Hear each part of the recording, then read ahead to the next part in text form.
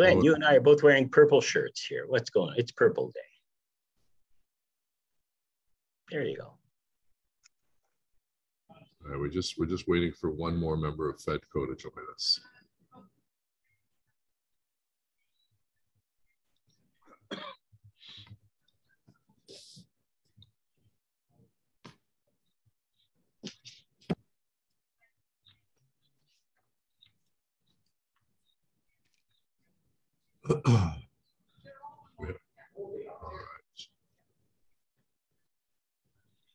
Hello, hello, everyone. Um, Welcome to the Finance and Economic Development Committee meeting for the 3rd of May, pour le 3 mai 2022. Uh, Do we have quorum, Madam Coordinator? Yes, we do, Mr. Chair. Okay, so uh, everyone, I don't think I have to go through the reminders of, you don't put your uh, phone on uh, hold and so on. We'll do a quick roll call. Council, Conseiller Cloutier, Présent, Monsieur le maire. Councillor Curry, Here. Councillor Darouze, Here, Mr. Mayor. Councillor El-Chantiry, Present. Councillor Gower.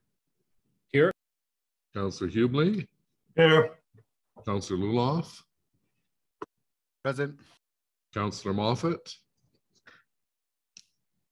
Councillor Tierney, Present. and Vice Chair Dudas. And uh, the Vice Chair has sent her regrets. Declaration of interest, déclaration uh, d'intérêt. Done. Confirmation meeting, adoption de process verbal pour le 5 avril 2022. Carried. Carried. Finance Carried. Services, the Ottawa Hospital Civic Campus Plan, we'll come back to that. We have presentation. Uh, Community and Social Services, Service Socio et Communautaire, OCH, uh, redirect Ottawa Community Housing Corporation's property tax savings and update on CMHC uh, investment loan to Ottawa Community Housing. This is a standard. We do this every year, I think, Wendy. Not mistaken.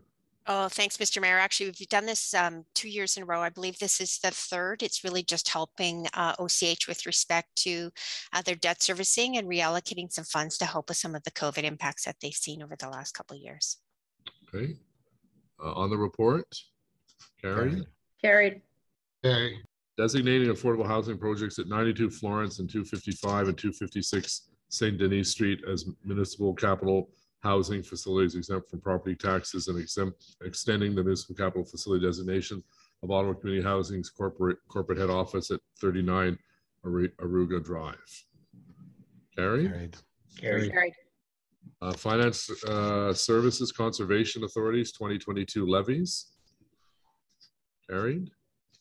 Carried. Carried. Innovative Client Services Community Partners Insurance Program, we have one delegation. Yeah, hold. Uh, Item, uh, Office of the City Clerk, status update, Fedco motions. Received. Received.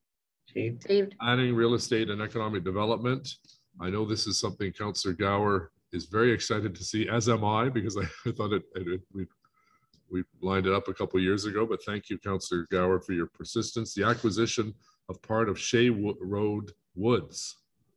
You want to say anything, Councillor, on this? Because I know you've worked to, to get this to this stage, and we thank you for that.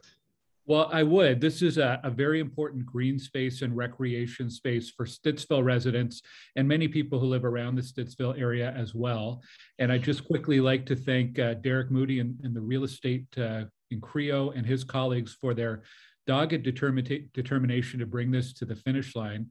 Uh, what they have um, uh, negotiated with the property owner is a very good deal for taxpayers. Also would like to thank previous counselors Shad Qadri and Janet Stavinga.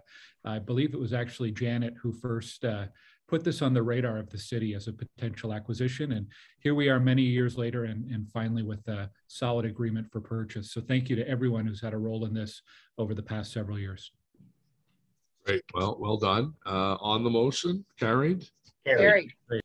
Uh, Brownfield Grant Application 115 Champagne Avenue South. Carried. Carried. Brownfield Grant, Grant Application 1040 Somerset Street West. Carried. Carried.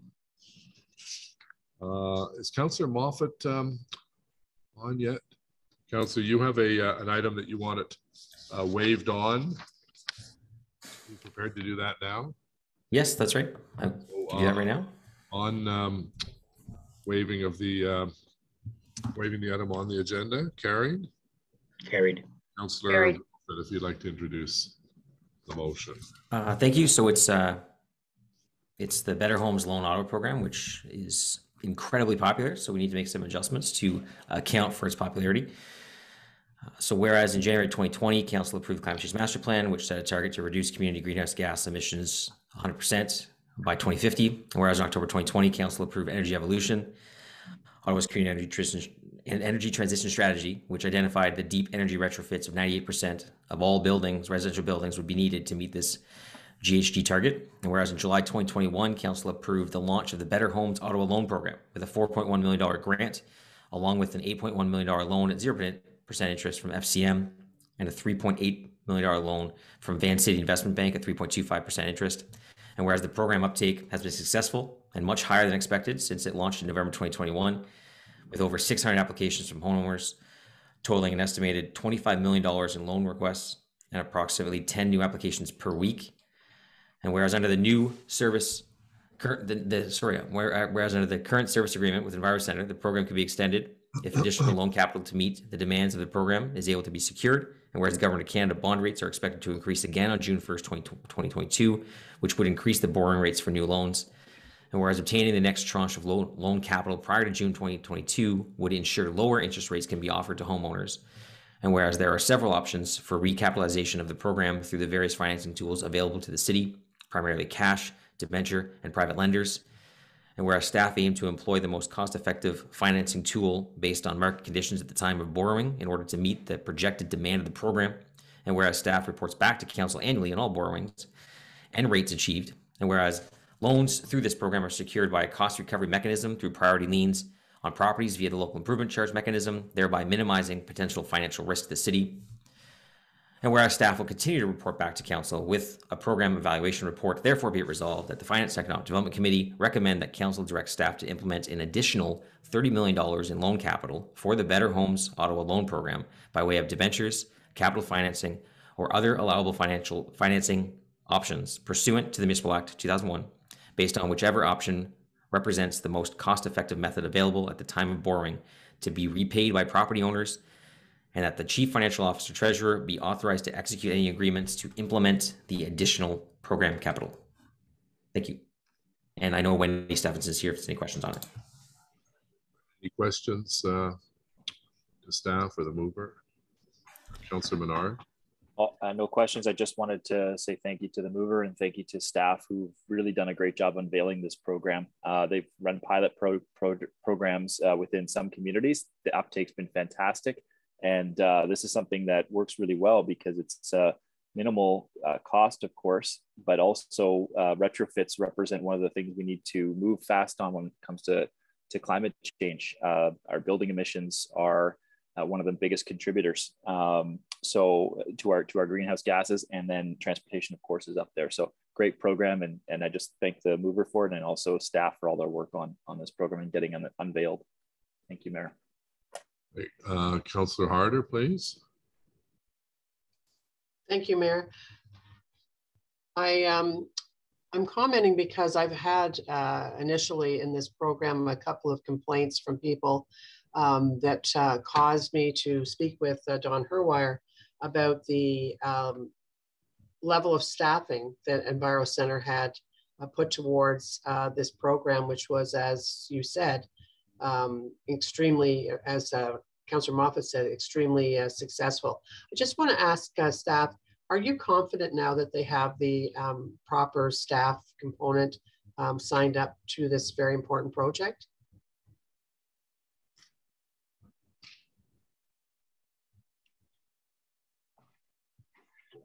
It's, uh, it's Janice Ashworth here. I'll uh, take a crack at answering that question. Um, I've been the one managing the, or responsible for designing the program. And because of the early uptake that was higher than expected, staff took a little, at, at Enviro Center, who's our delivery agent, took some time to get um, staffed up themselves to meet the level of demand, the, the higher level of demand than, than we had predicted. But but now they have developed systems and have brought on staff in order to meet the, the new expectation. And the, uh, the, the intake rate has also leveled off to a point of, of um, what that's manageable. So yes, I'm confident.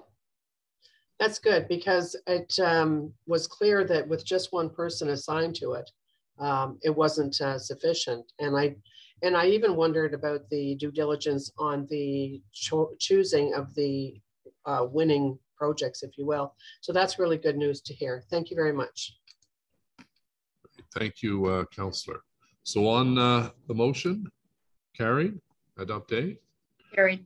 Yes. Okay, Our first item uh, that uh, we have delegations for is the Ottawa Hospital Civic Campus Financial Framework, local share contribution. Uh, We'll have a staff presentation uh, by our treasurer, and then um, Roger Greenberg, uh, the chair of the fundraising campaign, and Cameron Love, the president of the hospital, will speak. And then um, we will open it up for questions and comments. So, Ms. Stephenson, the floor is yours. Uh, merci, Monsieur le maire, et uh, bon matin, bon matin uh, tous les membres du committee. Uh, thank you very much, Mr. Mayor, and good morning, committee members. I'm here this morning to provide a brief presentation on the report before committee today regarding the municipal local share for the new civic campus.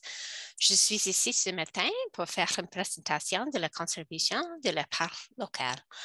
Um, my colleague Cyril Rogers joins me this morning, and as the mayor said, uh, Roger Greenberg is here, who's heading up the fundraising campaign, as well as Cameron Love, the CEO of the hospital. Uh, prochain diapo, s'il plaît. In terms of background, uh, as I mentioned, we're here today to provide an update on the municipal local share ask for the new civic campus. And the report lays out the request um, of up to 150 million as a one-time ask from the Ottawa Hospital for the new civic campus. The report advises committee and council of the ask and seeks direction to review and report back on a funding strategy for options for the local municipal share. The report also outlines a financial framework as well as guiding principles that would direct staff in the work to be done. And finally, the report outlines a unique option as a result of the project and the local share ask for a special area development charge, which is very specific to the hospital site as an option for review. Prochaine diapo, s'il plaît, Carole. So the overall construction budget for the new civic hospital is approximately $2.8 billion, and the province has committed 2.1 billion to the construction costs, leaving the total local share contribution at 700 million. And the local share can be comprised of several components, including uh, the hospital foundation fundraising campaign, things like in-kind contributions that could come from local businesses who are working on the project, federal contributions, and municipal funding. In terms of the municipal local share, the hospital has made an ask uh, for $150 million contribution, and that's approximately 5.4% of the overall construction budget. And there's no legislative or prescribed requirement for a municipal local share contribution, but we are bringing this forward to committee and council um, for uh, consideration. And any of that contribution would be made at substantial completion, which is in 2028. Prochaine diapo, s'il plaît, Carole. So there's four recommendations in the report, and I'm going to walk through each of one of them at a very high level this morning. So the first one um, is really just uh, seeking to advise committee and council on the receipt of the one-time municipal local share request. As we moved through the planning process for the master site and the parking garage, um, we always said that we would bring uh, forward a request for the local share uh, to council when we received it. And that's exactly what we're doing today. In terms of the second recommendation in the report, um, it, it seeks direction um, from committee and council for staff to review and report back on options for the municipal local share early in the next term of council. So staff would expect to report back in quarter two or quarter three of 2023 with options, and we work closely with our colleagues at the Ottawa Hospital um, for funding strategies. In terms of the third recommendation in the report, it sets out a financial framework and guiding principles should council approve the review of the local share request. And I'll walk through them in a future slide to explain how they're going to guide our work uh, should the report uh, recommendations be approved. And the last recommendation directs staff to review a very unique option and opportunity uh, which is a special area development charge, which is specific to the hospital site. Uh, and it includes a review of the required uh, growth related offsite capital works that are associated um, with the project, looking at the associated costs of those works and bringing back a background study and amending bylaw to impose, impose such a charge. And today, the hospital is exempt from paying development charges, sort of saving except for the transit portion. And there's no recognition of this in the local share. And the city doesn't get any credit for that as it stands today. So what we're proposing to do is review this. And this option would see approximately 90% of those costs being funded by the province, so very similar to as it is today, and 10% of the costs uh, funded by the city. And that would actually go towards the local share. The special area development charge would be exclusive to the hospital site, so it wouldn't impact, impact any of the development that's occurring outside of it. And it would facilitate the need for future service. So those offsite works, um, give a couple of examples. So the turning lanes, the boulevard improvements, uh, perhaps some beautification, and potentially the LRT connectivity that are required for the new campus and the site plan. Prochaine diapo, s'il plaît, Carole. So staff have recommended a financial framework and four guiding principles to complete the review for the local share ask. They are outlined in the report, and I want to walk through each one of them this morning. So the first seeks to minimize the burden on Ottawa taxpayers such that there would be a minimal or no financial burden to them. This guiding principle ensures that the city maintains the council approved tax increase and ensures value for investments with consideration of the local economy and the community as a whole. It also ensures that the city lives within its means with predictable tax increases, and it doesn't put a financial burden on the taxpayers. A tax levy is an option at council's will, and staff would really like to do the harder work uh, to find options that are outside of this. The second guiding principle has no redirection of existing or committing, uh, committed operating or capital budget dollars, as this would put pressures on uh, existing delivery of our services, as well as the commitments that we've made through our various long range financial plans, including our council priorities. If there were a redirection of these dollars, there would be pressures that we'd have to uh, address. This also helps maintain the city's credit rating and its overall financial sustainability. So here we're really looking for new sources to be able to fund the local share. In terms of the uh, third guiding principle, it would support exploration of one-time or very unique financial options that are either time specific or context precise. And they could be exclusive to the hospital partnership or the hospital site development. And this guiding principle is going to direct staff to explore unique, specific, and context precise financial strategies and options related uh, that really leverage our relationship with TOH and could be a potential solution for the local share. And the final guiding principle is to support the city's climate change goals and community sustainability.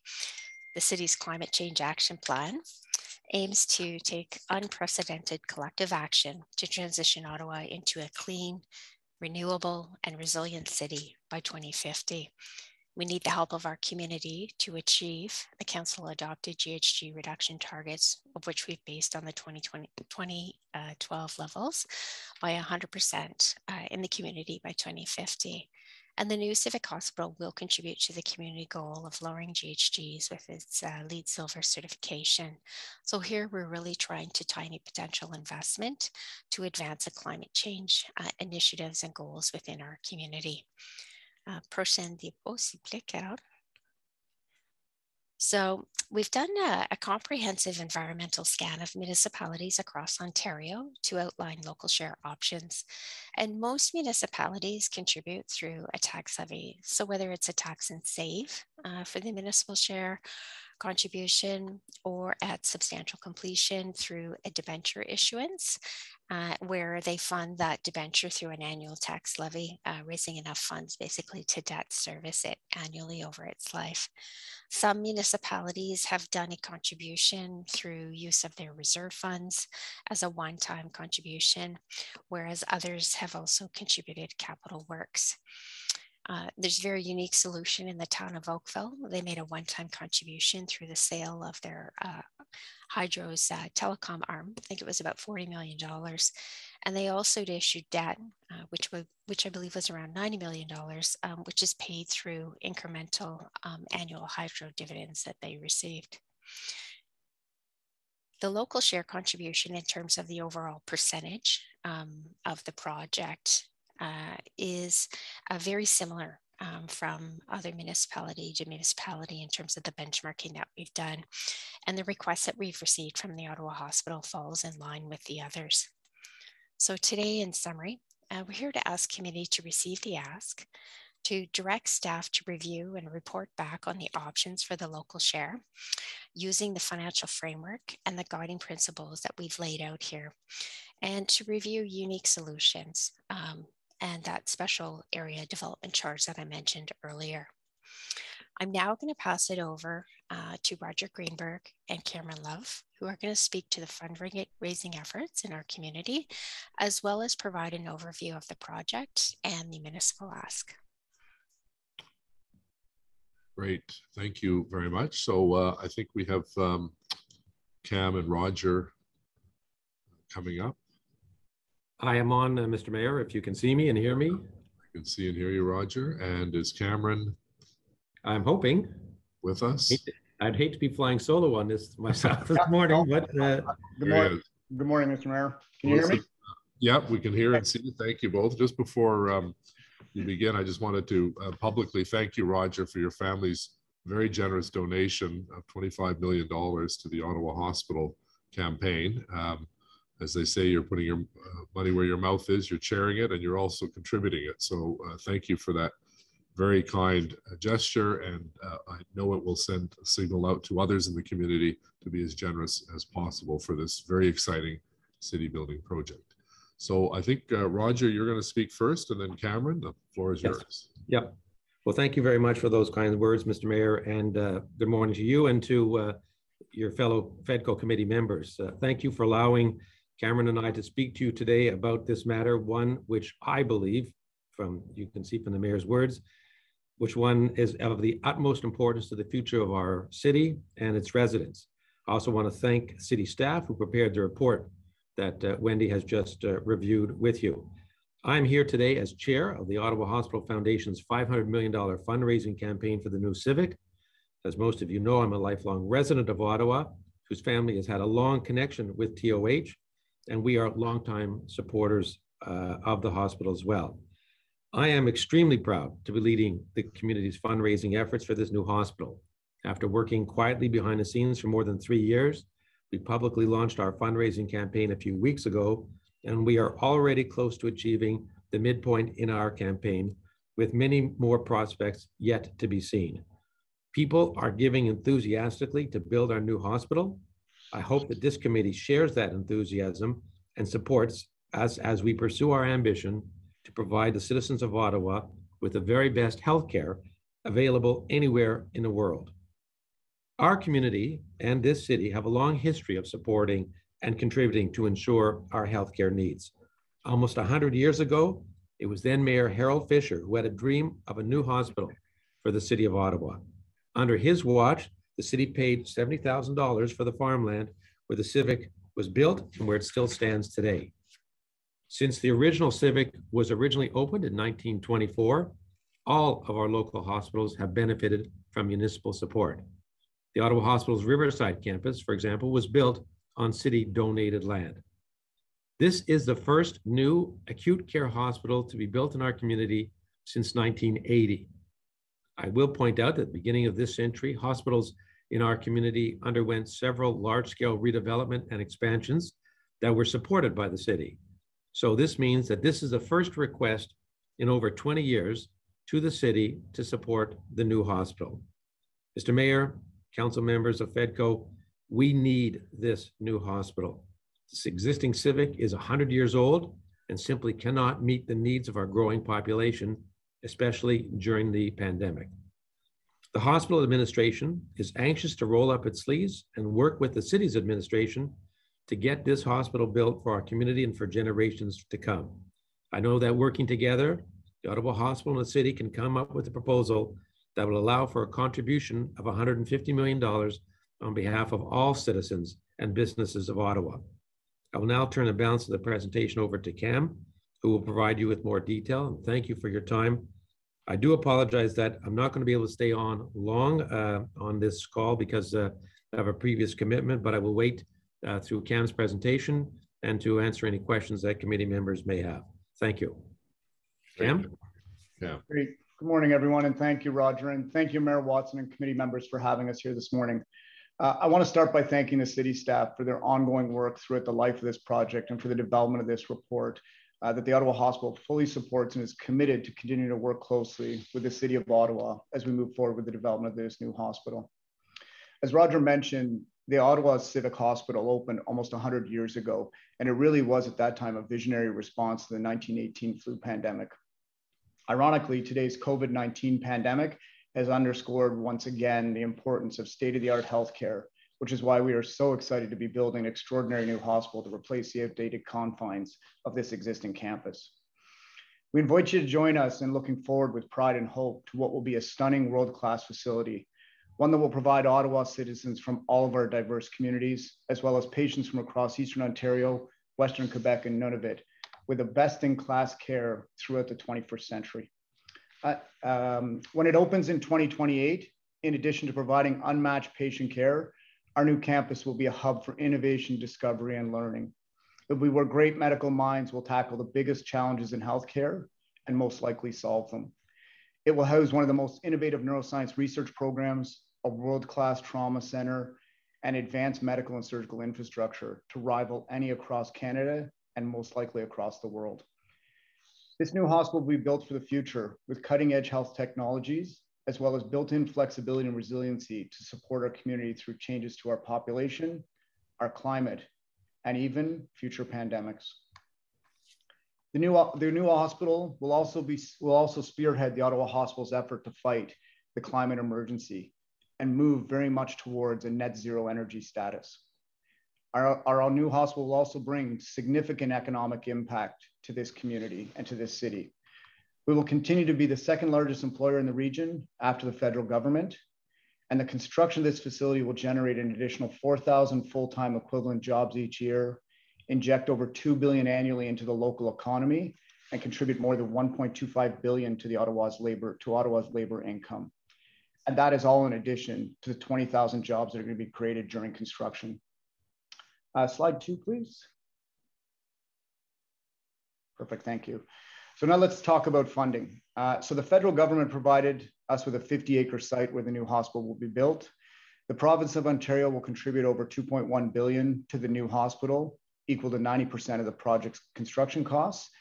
And our local share is 700 million.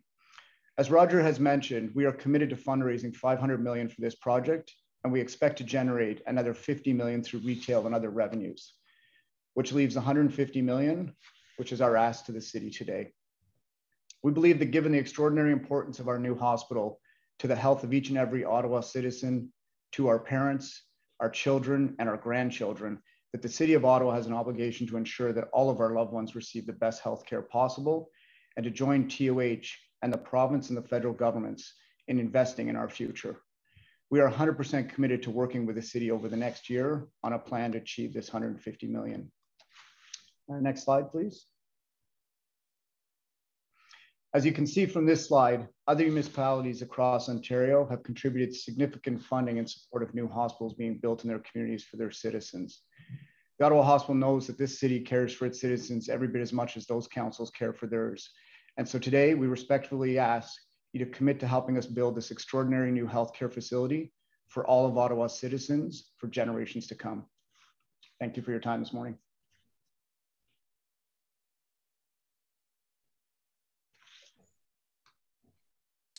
All right, thank you very much, Cam and Roger. So uh, now uh, questions and comments uh, to either staff or our colleagues from the hospital. Will be the first. Uh, Councillor Gower from Stittsville. So, thank, thank you. So to be clear, we can ask to staff or to uh, uh, Mr. Greenberger and Mr. Love at this time? That's correct. Okay, um, maybe I'll start with staff then. Um, thank you, Wendy, for the presentation. I just want to be really clear. We are receiving this request right now. Procedurally, we are not seeing yet. We are not saying yes. We are just acknowledging that the hospital has asked us for a $150 million contribution, and we're acknowledging we've received it. Is that what we're we're going to be uh, voting on today? That's correct. You're receiving the request, councillor. Um, and then if you look at the remainder of the recommendations, we're seeking direction. Would you like us to look at this? And we will report back in the next term of council. And you've identified a number of creative financing solutions. I think some of them look promising. Um, is that an exhaustive list? If there are recommendations that come up from council or from the community in the interim on other creative ways to for the city to contribute to this, are you open to exploring those? Yeah, thanks very much uh, for that question, Councillor, and the opportunity to expand on that. So we we have some ideas. They are by no means exhaustive. Um, so absolutely open to any ideas you would like to share with us. We will take those away.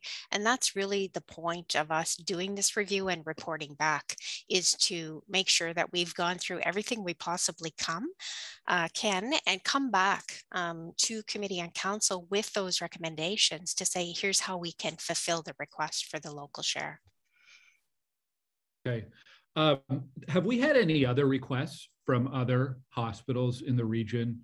Uh, I know there's a number of hospitals that have near-term or um, you know medium-term plans for expansion or renovations. What's the status of any other requests? Yeah, I've not received any other requests, Councillor, um, but I will take you back in terms of a little bit of history, if that is okay. Uh, we have said in the report that the city has has not traditionally and has not um, provided a local share request, and I I say that in the terms of the new city, so post amalgamation. However, um, if we go back to, I'm going to say the former city of Nepean, there were some reserve funds um, that were left, sort of what I call legacy funds. And so a decision was made um, to provide, I think it was a $2 million contribution, I believe in 2002 or 2003 to the Queensway Carleton for equipment. So it was a post amalgamation decision, but it was made with pre amalgamation money, if that's not confusing.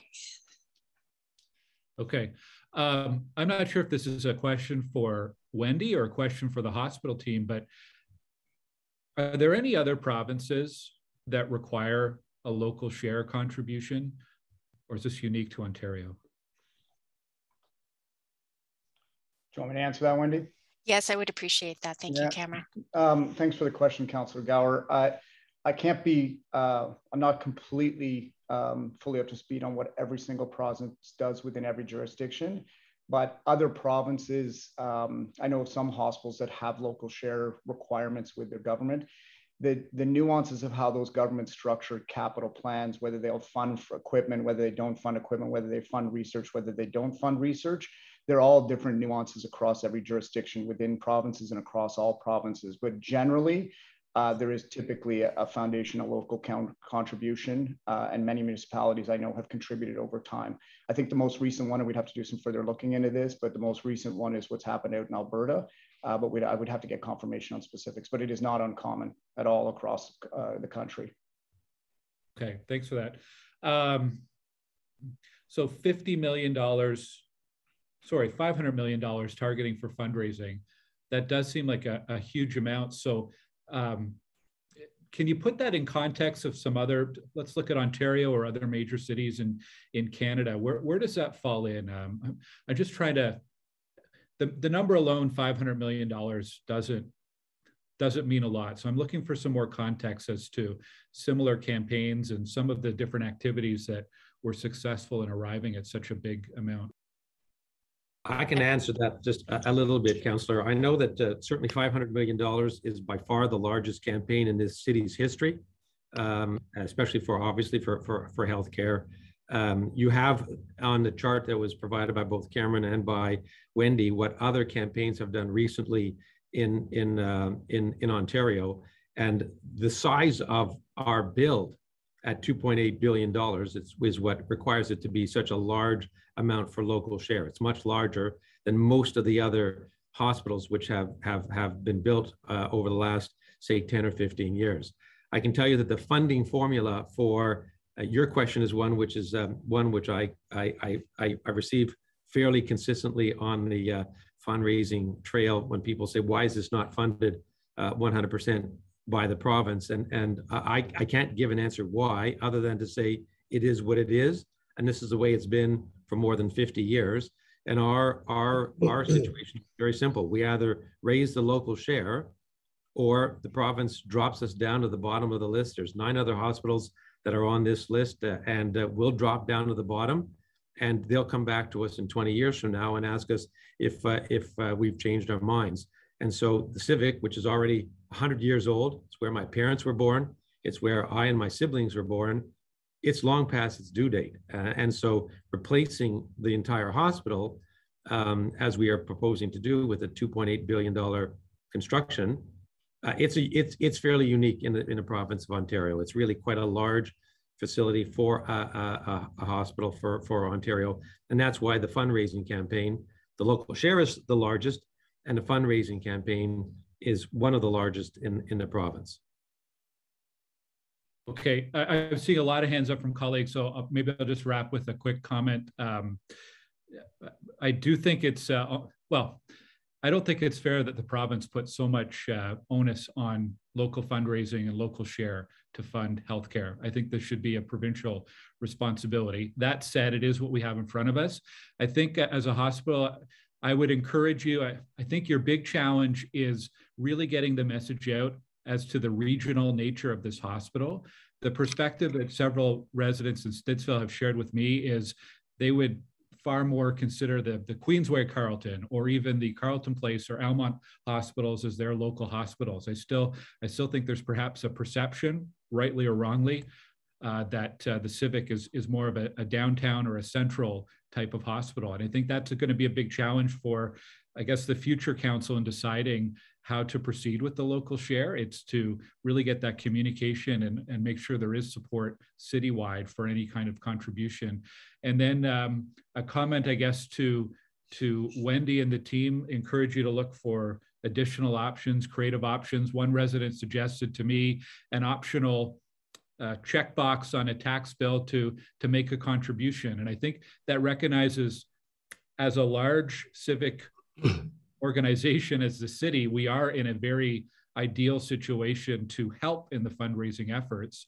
Uh, maybe if there's a voluntary way that people could make a $10 or $20 or voluntary contribution as part of their yearly tax filings, that could be another way that's uh, not putting a, a, burden on, on all taxpayers and a creative solution as well. And I'm, I'm sure there's others that colleagues or residents might have and how the city could contribute. Thank you, Mayor. Great. Thank you very much, Councillor Gower. Uh, Councillor Luloff, please. Thank you very much, Mr. Mayor.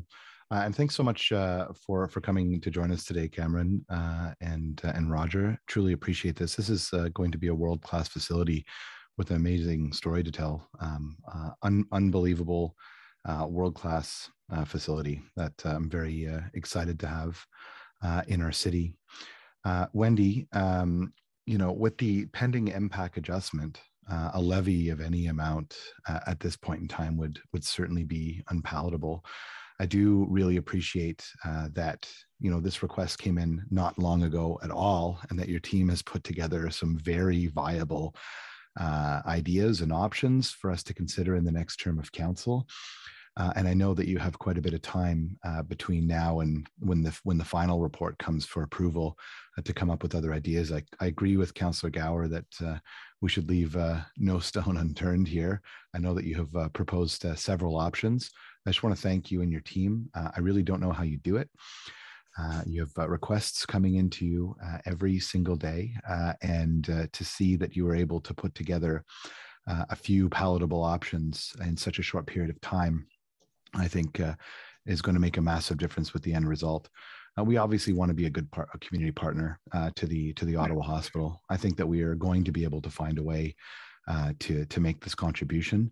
Um, but uh, I certainly uh, want to make sure that uh, that it's clear that I believe that my residents would find any any amount of a levy at this time, especially with this MPAC adjustment. People have seen their their their housing values double over the course of the last four years, five years.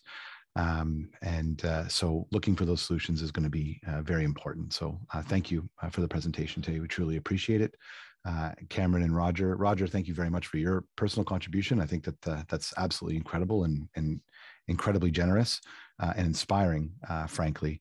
Uh, but uh, you know, as mm. between now and when we meet again, I wish you continued success with this project, and very much looking forward to seeing it come to fruition. Thank you. Great, thank you, Councillor Luloff. Councillor El-Chantiry, please. thank you very much, Mr. Mayor, and Ms. Stephenson, this is not unique, this request. In the past, uh, maybe not with the, uh, since uh, the amalgamated city, but in the past, because I remember we dealt with something for uh, Bronson. Uh, I mean, they have a interest loan free from the city, and not too long ago, we, we renewed it. Uh, do you remember that loan? Uh, I'm not sure if you're referring to the um, Dave Smith Youth Treatment Center. I know there was a, yes. a unique arrangement uh, that we did have with them, and um, I know they're just commencing uh, the build of a new facility. I want to say that announcement was made in the last couple of weeks. Um, our, as I had said um, our research shows that in terms of an overall municipal contribution to a project this uh, sort of size, scale, and scope um, has not happened uh, since amalgamation. And, you know, as as um, we said in the report, we're bringing this ask forward. Uh, we are required to do so uh, to let committee and council know that the ask has come and um, provided a framework in terms of how we could actually do that work and report back. And I understand that, but what I'm trying to to connect, so even we haven't done it under the new city, but in the past, and being the councillor who David Smith, uh, you know, treatment center been building, I, I recall that uh, law. So it's not it's not unique for municipality to contribute or help uh, health care provider in the city, even if it didn't happen under the new city, but it happened before. Yeah, that's correct, Councillor. Okay. And, and I'm, I'm glad we, you know, you're giving us option. And I have to tell you whether you are in Fitzroy uh, or you are in far Cumberland or in the South, uh, Civic Hospital is still our hospital. Doesn't matter where we live. I think it, it serves benefit to all of us. And I'm looking for some of the option you are bringing to us because quite honestly, uh, I live in Carp, and my wife she, she went to the Civic and other. I, I don't want to make it this is a personal thing, but we all know the Civic is not just to serve the downtown or the core or any of the hospital, as a matter of fact. So uh, I hope when you bring to us in the future, it'll be something clearly to uh, to to make the the argument the civic is not just for area specific is a, is a, is a citywide. Is actually we have folks flying from up north. I visit few people, uh, law enforcement people who've been treated at the Civic from as far as Calloway come to the Civic. So I just want to say uh, I applaud you for taking on something like this and also providing us option. And to uh, to Mr. Love and Mr. Greenberg, well, thank you both for your leadership. Uh, Roger, again, your you and your family showing some uh, leadership in the community and supporting a, a great cause to all of us. So thank you. Thank you, Mr. Mayor. Thanks, Councillor El-Chantiry. Uh, Councillor Kavanagh, please. Thank you very much, Mr. Mayor. Um, my question is to um, our treasurer um, in regards to how much um, this hospital costs us, because um, one of the uh, uh, the implications is traveling connections, uh, transit connections, which were only raised at the very last minute. Um, and uh, we're building a stage two LRT, and um, we're going to have to have some connectivity to this hospital to reach the goals that are outlined that say that it's going to be um, climate change friendly.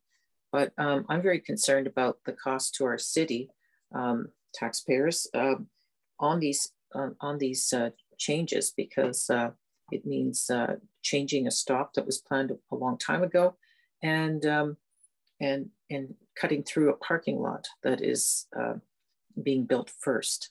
So I just wanted to get an idea of, of the costs of, of those things. Uh, it's a great question, Councillor, and that's some of the work that we're going to need to take away in terms of those offsite um, capital improvements that need to be done with respect to the site plan. We don't have a full figure on um, what that's going to be.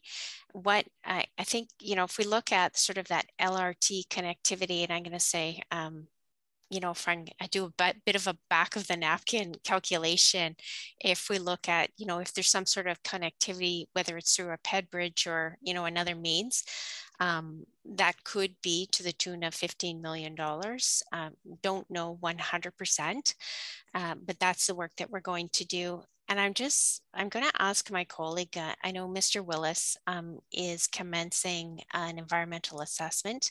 That work is going to start in 2023 that will really inform uh, what the future is going to look like and sort of what that solution is going to look like as well. So I'm sure Mr. Willis uh, can provide more details on that. Sure. Thank you, uh, Wendy. Yes, as, as Wendy indicated, we are going to be commencing the process for an environmental assessment to link the transit station across Carling Avenue uh, to the hospital complex. Uh, it is a requirement under provincial legislation to do an EA, and the EA uh, looks at different options. So that will be either a bridge above or a below grade option. We'll look at them and cost them and have public consultation into that process and looking at, at how we can uh, get that connectivity that uh, both city and federal approvals contemplate. Thank you. And and this is uh, outside of what is being asked because this is this is all what uh, we we have to um, do as a city to to make um, this major piece of infrastructure connected to our system. Is that correct? Yes, I mean, certainly we, we've identified it, both our approvals and the federal approvals, that this is a key piece for connectivity. Um, it's a huge opportunity to link uh, this, the hospital complex very properly into the uh, transit station with accessible access. So uh, we do need to get on with that, uh, uh, the, the approvals, the design and approvals process so that we know what that is. Okay, thank you very much. I'll, I'll uh, let others ask questions. Thank you. Thank you, Councillor Kavanagh. Councillor Menard. Thank you very much, uh, Mr. Mayor. Thank you for the report. Um, I wanted to start by just talking about um, the report itself and some of the recommendations in there um, and just get some clarification. And so, Wendy, we, we had met on this and I appreciate that uh, discussion. The, the potential for a local tax levy um, is, is likely not something that would proceed as I understand it, but I, I want to get clarity from you. Is, is there a potential that a local tax levy from residents across the city or, or in a residential area nearby that they could be paying something like that with this report in the future? Yeah, the when you look at the guiding principles in the financial framework that we've included in the report, um, we're recommending uh, that one of those guiding principles be no to minimal impact on our taxpayers. And I had mentioned in my presentation that a tax levy is what I call a, a simple or an easy solution. Um, not suggesting that it's palatable or acceptable, um, and we know we know that we can do that. So what we're asking for in this report is to use those guiding principles. So again, one of them being no to minimal tax impact on our taxpayers and go away and look at very unique solutions that are not a tax levy and bring those back uh, to committee and council for consideration. Um, so that's the work that we would like to do and report back on. Okay, I appreciate that this would go to the next council. I think any kind of multi-hundred million dollar decision absolutely should be going to the next council uh, with proper consultation. Um, in, in, terms of uh, the, the fundraising for this, we're in a difficult spot in the core because the location is, is such a difficult one. Um, I think everyone will appreciate, um, you know, our, a lot of residents that uh, live in the area, this was treasured green space. Um, there's hundreds of trees that are being cut down here. um, as a result of the, the site plan and the site that was selected here. So it's difficult to ask them to then come back and, and fundraise for something or fund something that they uh, are very concerned about when it comes to the location uh, because of how poor a spot it is. Um, this is one area where we had a carbon sink here, um, uh, hundreds of, uh, of, of, visitors every day to the, the park areas, and uh, a lot of trees that have already started coming down. So in terms of the environmental component of this, um, I'd, I'd uh, be very concerned if that was a, a, way we were using to, to fund this in that way. Um, I'll also just mention that I had raised this, and it's a question, I guess, for Cameron Love, but I had raised this uh, during the deliberations on the site plan. And I asked specifically how much was Ottawa going to be asked for for a local share? And then there was no answer that came back at that time. I'm wondering why that is and why we're only being asked now after the site plan's been approved. So I can certainly start um, to answer that question, Councillor, and uh, very much remember the conversation that happened at committee. And uh, the answer that was provided um, in terms of the information that we had in front of us was we didn't know what the local share was going to be at that point in time. And we always committed to coming back um, to committee and council with respect to that ask. So now that the site plan has been approved, I, things are moving along. The request has been received, and so we're bringing that in front of you today. No, I appreciate that. Um, however, the question was asked then, and I'm sure there was knowledge of it then, and to have it come back now is, is I feel a bit disrespectful when we had the the answer there um, in terms of how much the hospital would cost. On the costing, my understanding is we've been having overruns of hospitals in, in Ontario. I really think the province should be funding the entire thing. They shouldn't be asking for local shares. This is a provincial responsibility. We already get so much downloaded on us as a municipality. On the cost uh, of what the hospital's projected for right now, do we have confidence it's going to stay there? Do you want me to take that one, Wendy? That would be wonderful. Thank you, Cameron. So all good questions, Councilman Menard, and I'll try and uh, address them uh, in a slightly different order. So um, I think it's safe to say, and I think you would know this with what's happening within the industry and the supply chain market, there's not a construction project on the globe right now that's not impacted from a cost perspective. Um, and so I suspected with your own deliberations on various city projects, you've also got the same pressures, whether it's hospitals, whether it's community buildings, whether it's city buildings or housing development, the price of construction has risen. So the cabinet approval that we have uh, has a, a, budget that's been approved with a confirmation of escalation that as we move, work through the last next year, we go out to RFP in, uh, in approximately July to select the consortia. We've got a year of working with the industry uh, and IO in terms of confirming exact costs. There is no question escalation is a concern, but the government has outlined that for all approved projects, the cost of escalation will be part of the final sort of approvals as numbers confirm. But we're seeing numbers shift literally every quarter. Now, the big question is, and this is where it becomes a little challenging, is over the year, will it stabilize? Uh, but we've got full confirmation from government uh, that those costs will be covered from an escalation perspective. And our local share of 700 million to sort of add on to what Wendy said, when we brought this forward, we, we did not have final costs. The escalation piece was being confirmed. And Roger and his cabinet, through his leadership, have just confirmed the local share recently, which leaves a number of 150. Those pieces were, were all being worked through at that time. And that's why we didn't bring forward the specific ask. But the local share of 700 million is now confirmed. And as we go through the next year, that number stays the same. And we'll see what happens within the industry and we'll work with the ministry on escalation costs. So that's question one. Um, the other question I think you raised, and I'm forgetting, actually, I'm sorry, Council, what was the second question you had in that? Oh, well, we, we uh, were talking about the environmental impact here, and uh, that was an issue with the site itself. Um, I had ra raised that. So the in environmental stewardship, planetary health, and a direction to create a framework on trying to move towards a net zero platform in, in future years is absolutely a principle for this new site. And I, look, it's really unfortunate that we're having to take trees down. I, I don't disagree with that. I mean, while we're taking down about 590 trees over the course of the two phases, we're planting about 300, three, sorry, 3,000 new trees to try and restore all the canopy. Having said that, there is a much bigger picture here. When you look at healthcare hospitals and you look at what we um, the impact we have with the existing Civic on things like utilities consumption, um, the, the inefficiency of this building, the impact on the environment, and particularly waste and waste management in terms of food, medical waste, hazardous waste, and those things. That is equally something that is just, you can't even compare the new to the old in terms of the impact it's going to have on the environment. So our entire plan with ministry of moving towards LEED silver or above is focused around trying to create an entirely new platform that moves us to a, um, a carbon net zero platform over time. So it's not look at the trees that are Love. important, but that is that is a, a, key piece to this new puzzle. Dr. Love, I have uh, no issue with the new hospital. I want a new hospital in Ottawa.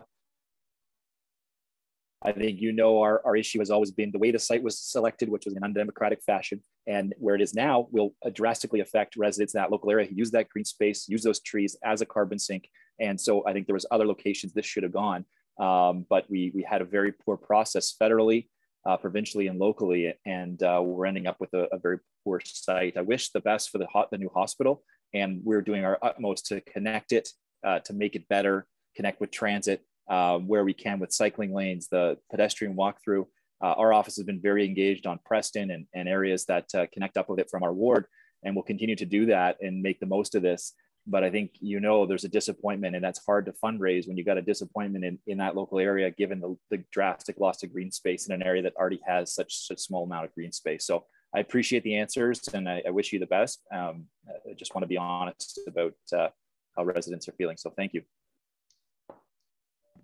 Okay, uh, we'll stick to the report where the site selection has been decided. So let's stick to the report that's before us. Councillor Brockington.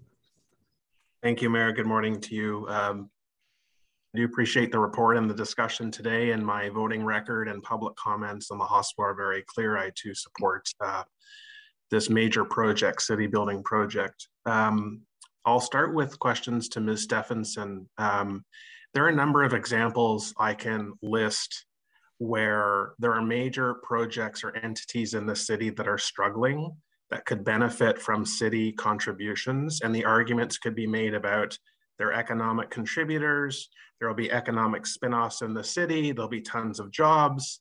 The airport struggling, major economic contributor. We could contribute to this Queensway expansion. I'm not suggesting that's true, but you could make arguments. You could make arguments about how we should contribute to universities and colleges who need money. So Ms. Stephenson, what criteria did you use to assess this request and make a unilateral decision to bring this report to FEDCO. We did not give you that direction. We didn't give you that authority. So how did you make that decision? You're probably bombarded all the time for requests for money and support. Why this project and not other projects? Thanks very much, Councillor, for the question. Um, when staff received the request, we really took a step back and we looked at the best approach in terms of how do we inform members of council um, through whether it's a report, whether it's a motion, um, and quite frankly, do we inform uh, council with respect to this? Um, I can tell you in my tenure, this is the biggest, the largest, um, and quite frankly, the only request that I have received. Um, and what we did was we really took a step back. We did an environmental scan across Ontario. We wanted to see what did our municipal partners do in terms of this. I've talked a little bit about that this morning, um, about what the local share looks like in other municipalities across Ontario. Um, Mr. Love or Dr. Love has also spoken to what that looks like across uh, Ontario. And um, we know, uh, you know, small to medium municipalities choose to make a contribution and they do it in various different ways. Some of the larger municipalities, you look at Toronto as an example, chooses not to make a contribution. Um, this is probably uh, my first. It may not be the last. There could be other um, asks that come to us. Um, but based on that scan, we felt that it was important to bring a report forward um, and it was warranted really to allow for additional information and details to come to council members instead of just putting the ask in front of council. And the report really provides that context this morning around the request that came from um, the Ottawa Hospital uh, and the information from what other municipalities have done, as well as, I'm going to say, a little bit of thinking and knowing that we have a lot more thinking to do in terms of what some of those potential options might look like.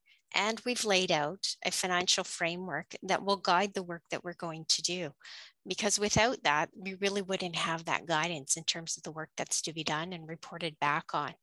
Um, and that will give us the time to complete that review and bring it back to council in the in early in the next term. So ultimately, this report provides the context that we feel is needed for members of council to really make an informed decision today uh, around the recommendations that we've made.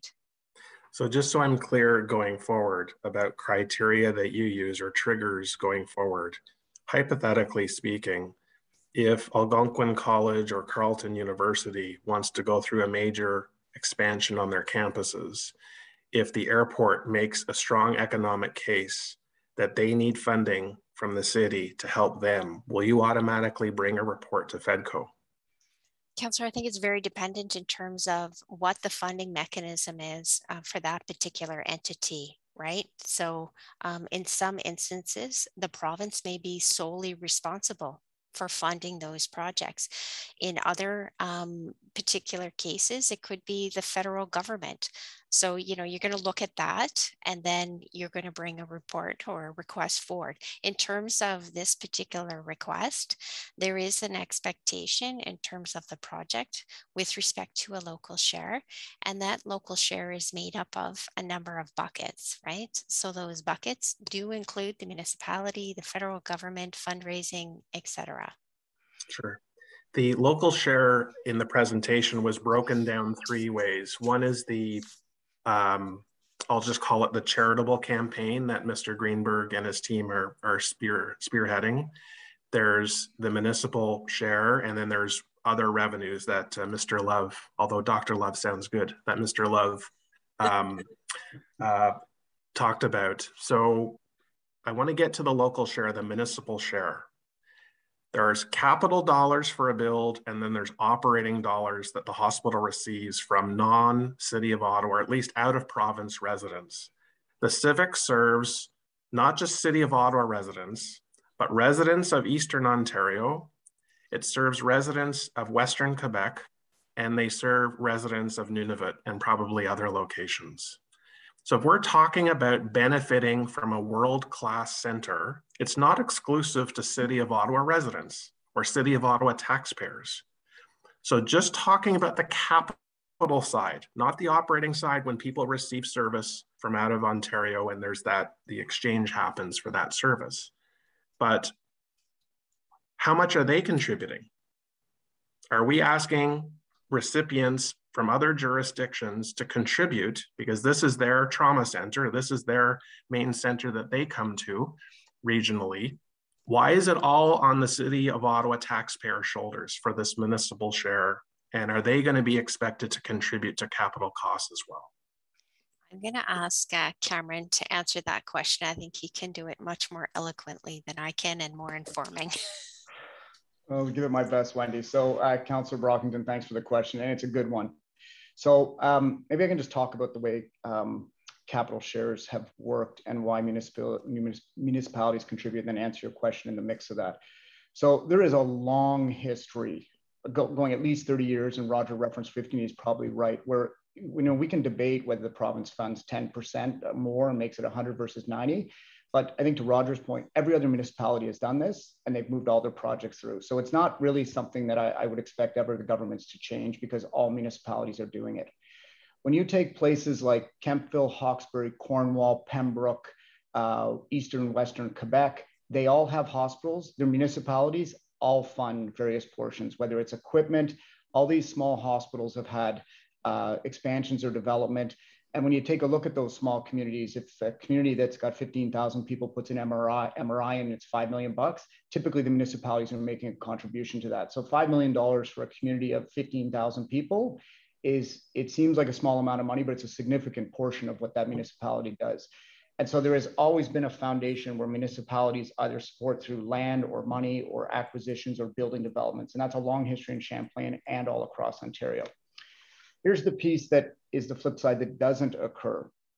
Is so when we um, when we build this trauma center, and we take trauma from everywhere. And if you have to the comment, I can't remember who said it, of patients in Stittsville, even though a patient may go to Queensway, we get dozens of transfers coming from Queensway to TOH because of the complexity of care that's required. If you have trauma, vascular disease, you have a stroke, you have a heart attack, whichever it is, they're all coming to the trauma center.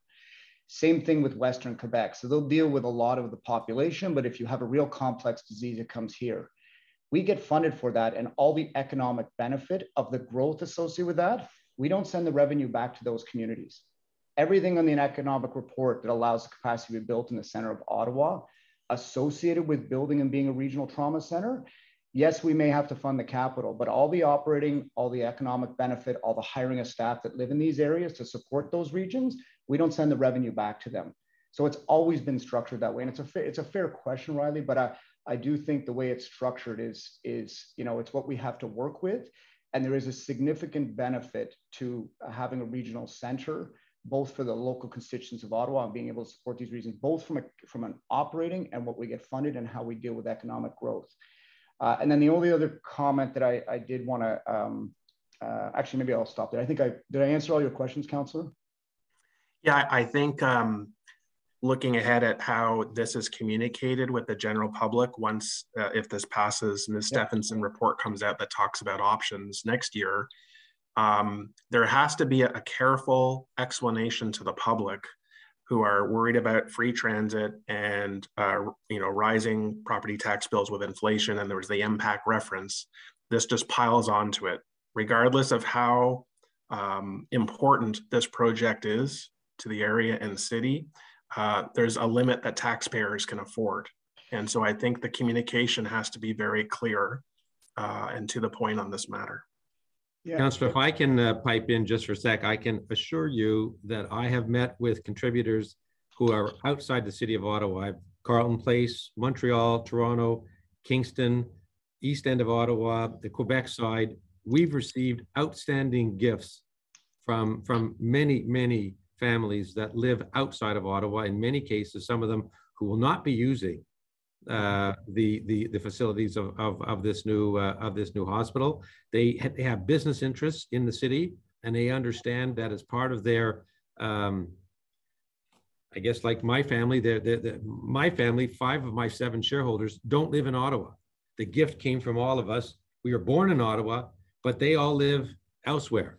So I can assure you that from the fundraising side of the $500 million, a significant component of that will come from families who will never step foot, not because they don't want to, but they live in their own jurisdictions. They mm-hmm. will they will go into their own hospitals. So I think it's fair to say that uh, the, the lion's share of the fundraising campaign will come from a much larger group than just residents of the city of Ottawa who are going to be using it, and we're benefiting from mm-hmm. their from their contributions.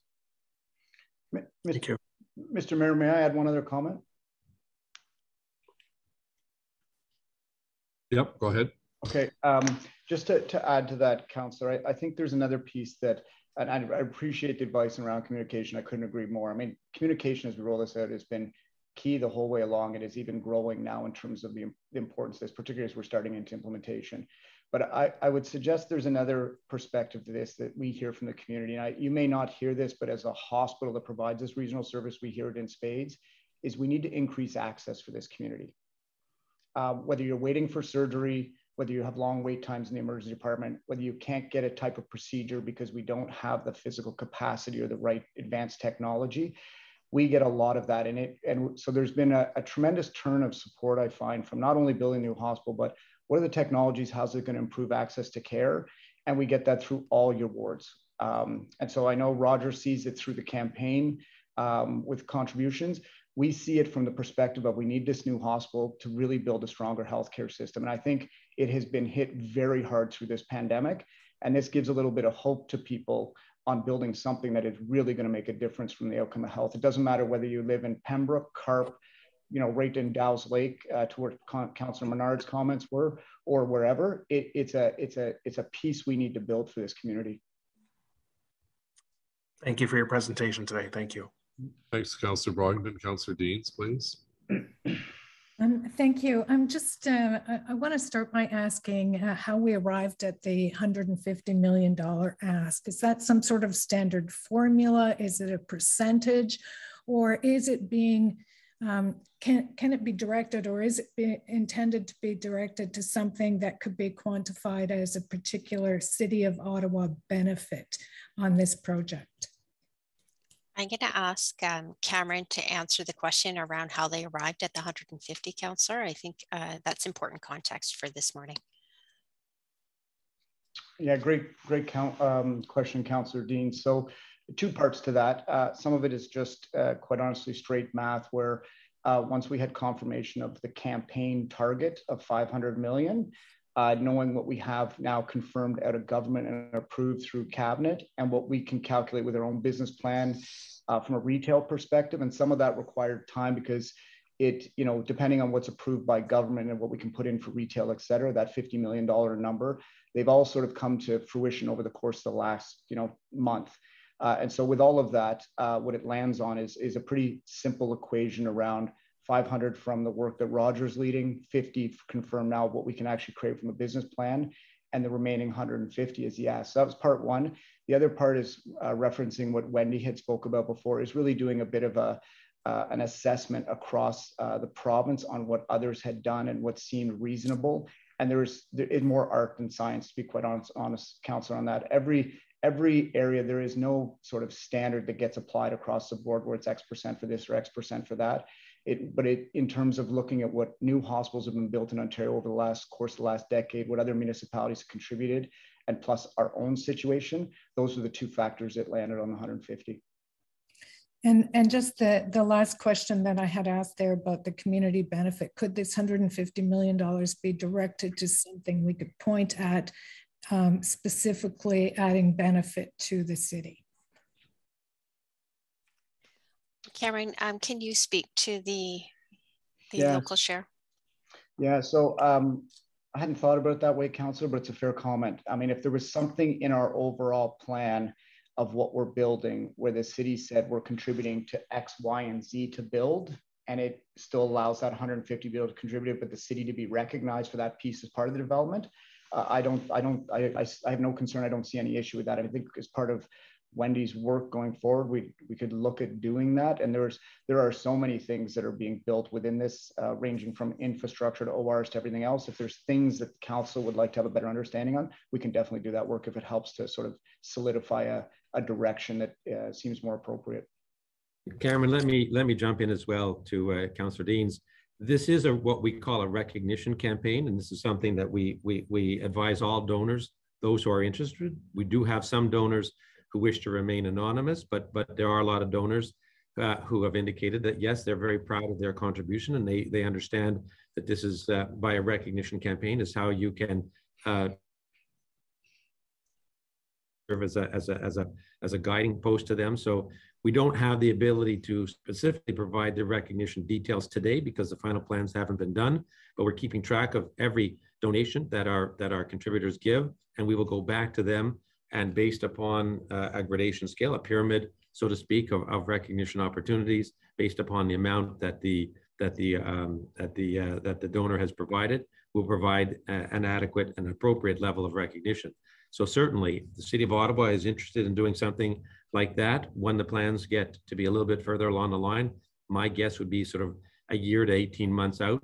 You know, happy to sit down with the city and in the context of what its contribution is and to make sure that the residents of Ottawa recognize that that's the way that this hospital was built. It, it, it it's, it's, um, we can talk about, you know, how unfair it is and that the province should pick up 100% of it. Uh, I would give the same argument, but at the end of the day, all that's going to mean is that we're not going to get the new hospital built. And you've taught, you heard about how how how decrepit the current facility is, how how environmentally unfriendly it is, and the, the benefits that'll come from the health care.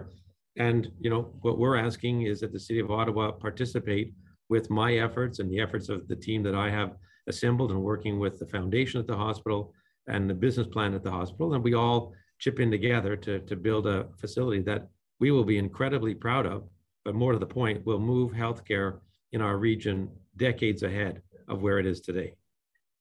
I just want to follow up on, I've heard it twice this morning now, that if the $700 million local contribution isn't made, that we'll drop to the bottom of the heap and we won't get the hospital.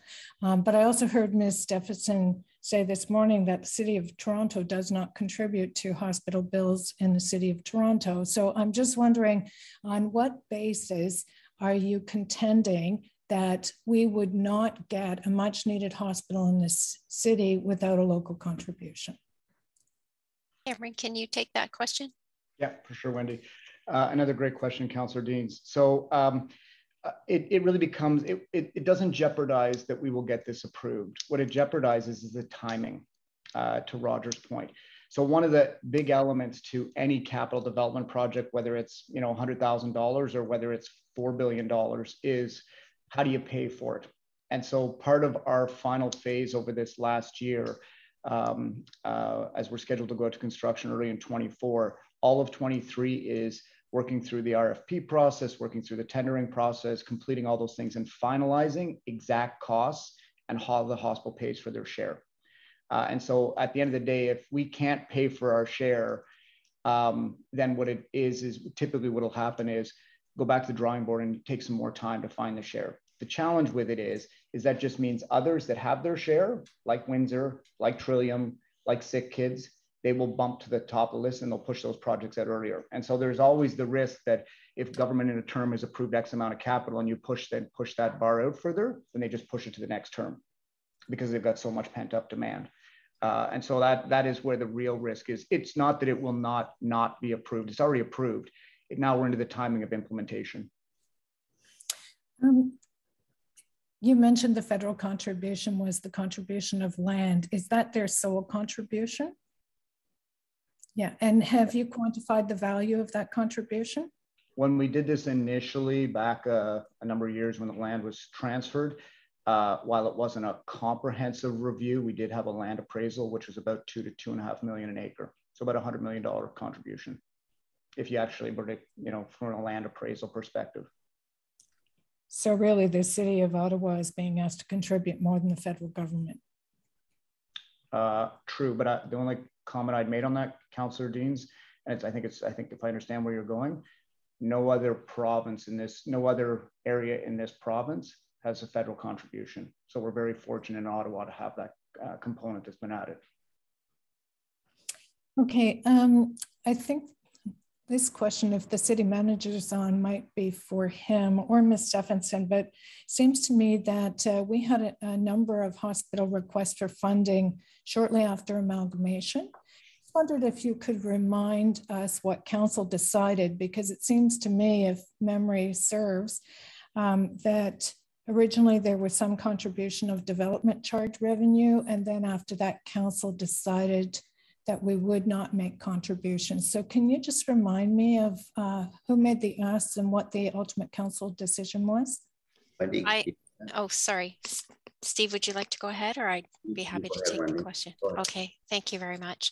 Um, Councillor, I'll be able to provide uh, a partial answer in terms of what the decision was. I'm happy to do that. Um, and I can go back and get um, the actual asks uh, for your reference. I'm happy to do that as well. And I may lean on my colleague, um, Cyril, who's also uh, on the meeting this morning to provide some more details here. Um, but what was happening was um, hospitals were required to pay DCs in the past. A decision was made at a point in time to exempt the hospitals from DCs, but we were having to make that contribution ourselves to make up the shortfall of those DCs. And so that was, I'm going to say, putting a bit of a pressure in terms of that exemption um, that was happening.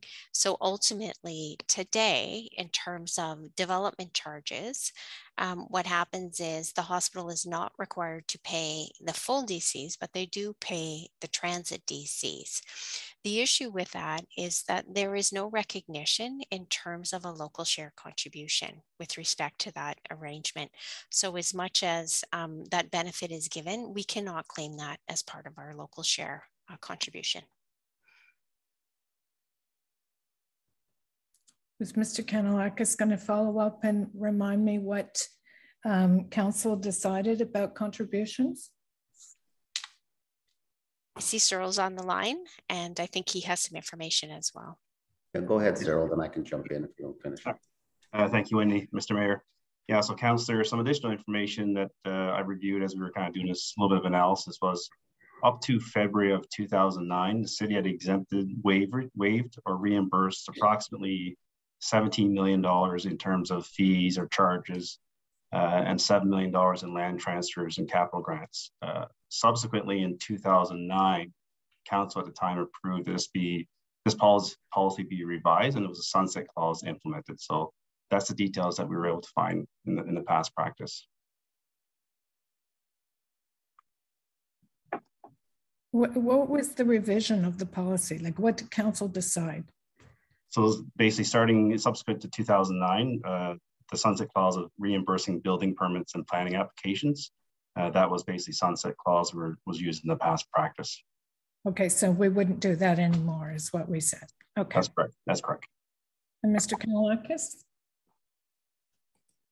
Uh, Mr. Mayor, I don't have anything else to add. That was my recollection um, um, of what was occurring at the time. I wasn't involved in that side of the uh, of the business at the time. I was uh, in operations, but um, that's my understanding what happened um, at that time. Council made a definitive decision in 2009. Thank you. Those are all my questions. Councillor Fleury. Yes, Mr. Mayor, and, and thank you, Roger and, and Cameron. Um, I, I will echo a number of, of colleagues. I guess oh, we're now much more awake of some of the shortfalls in, in health funding and um, the impacts that will have on, on local taxpayers uh, at different levels. So, so thank you, um, thank you for that, and, and thank you for steering the ship towards a a new world-class hospital, which is much needed, as as you've rightly described, and and are, are striving for. And and Roger, personally, uh, thank you for leading the fundraising campaign and, and for uh, for uh, your personal con contribution. It's uh, it's it's very important. So so um, I guess uh, my questions are really to staff. So I just wanted to uh, to maybe begin by by that. Um, Wendy, on on the framework that we're proposing, are there any directions that would be helpful? I, I I'm hearing a number of elements raised by uh, committee and council members this morning um, relating to, I guess it comes down to elements that are needing funding for, but and how those would be funded and sources uh, uh, sources. Um, specifically for us, like if we accounted for at this point city infrastructure upgrades that will be needed uh, for uh, the site, including roadway, transit. I'll go even as far as, as hydro, which as we know is an external partner, but certainly uh, um, uh, uh, do we uh, do we have an account of all of those figures so far, and and how would that play into our municipal contribution? And is the the hospital in line that that would apply to the 150 million? So uh, thanks very much for the opportunity to walk you through this and clarify some of this. Um, that is uh, part of the important work that we need to take away and do. Um, when the site plan came, uh, there's definitely some um, offsite capital works that are identified as a result of that. We need to take all of that away. We need to put values to those things um, to determine what does this look like? What is the dollar value associated with this? And then that would form part and parcel in terms of what we bring back to you as to um, could this be the local part of the local share? So that's part of the work that we need to do. We have crafted um, the uh, the guiding principles such that it gives us the guidance to be able to do this work. So when you talk about, you know, necessary or other directions, um, we feel that with the framework that you have in front of us or in front of you today, that we can go away and do this work. We don't need additional directions to be able to do that. I've heard a number of um, great suggestions and ideas this morning that we will take away with respect to this and apply those lenses and, and certainly say, um, you know, if anybody has any ideas, we're always welcome to hearing. Um, please do share them and we will take them away and we will look at those. Okay. Okay, so and and have, have we put some context or framework to elements that are untouchable for us? For example, no new debt issuance or something of sort. Like, is that helpful at this point, or is are you, as part of your framework, you will do the, the proper analysis to come back and and the next council will have the full consideration of, of the landscape that's presented. That's correct. So the, the latter comment is correct. This will give us the framework to be able to do that work and bring it back. Um, so no direction with respect to that. Okay. Okay. Just final comments and thank you, Wendy. Um, we, we have to realize not only the importance of care through the Ottawa Hospital, but also the importance to our local economy. Uh, Cameron was speaking earlier about the economic impact of the workforce that is directly hired by the hospital or, or indirectly in offering a number of services. Um, I know counselors were very territorial, but I think in this case, we have to be extremely careful on how we position that. Uh, if if someone shows up with a heart attack at Montfort and is sent to Civic Heart Institute, it doesn't matter that they live in the east part of town.